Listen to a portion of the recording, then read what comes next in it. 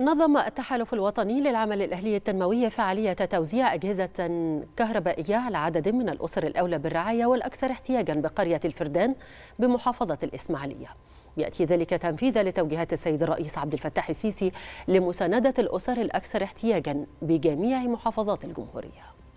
في إطار جهود الدولة لتوفير احتياجات الأسر الأولى بالرعاية نظمت جمعية رسالة للأعمال الخيرية إحدى مؤسسات التحالف الوطني للعمل الأهلي التنموي فعالية لتوزيع أجهزة كهربائية على 15 أسرة من الفئات الأولى بالرعاية والأكثر احتياجا بقرية الفردان. بمحافظة الإسماعيلية. الفعالية شهدت كذلك توصيل المياه إلى عدد من المنازل بالقرية مع توزيع عدد كبير من صناديق المواد الغذائية وذلك بمشاركة عدد كبير من متطوعي التحالف. نوزع كمية شنط كبيرة في الفردان على الناس الأولى بالرعاية مع بالاشتراك مع التحالف الوطني ويأتي دعم تلك الفئات تنفيذا لتوجيهات الرئيس السيسي رئيس الجمهورية للوقوف بجانب الأسر الأكثر احتياجا بجميع محافظات الجمهورية لتخفيف العبء عنهم. التحالف الوطني يواصل تقديم الدعم وفقا لخطة الحماية الاجتماعية الخاصة به